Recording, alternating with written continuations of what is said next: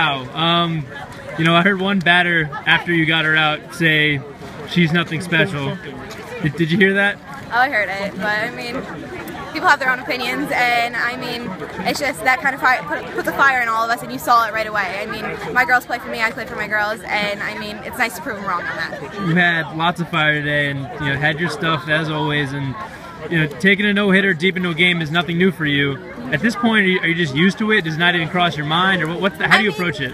It's not like you're used to it. It just kind of like it's just it, it kind of just happens, Mm-hmm. and I mean I'm happy when it happens, and I mean um, like if they hit it, they hit it, and if not, th- then they don't. But um, to go into a game like this to have a no hitter into the seventh, I mean it's it makes me happy.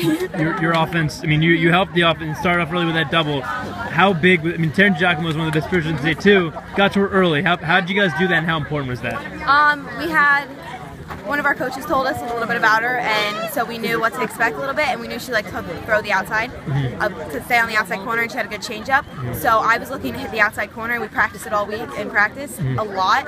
So I just was waiting for the first strike I really saw, and which threw it to me, I took it. To win this game, this dominantly especially, what does it feel like?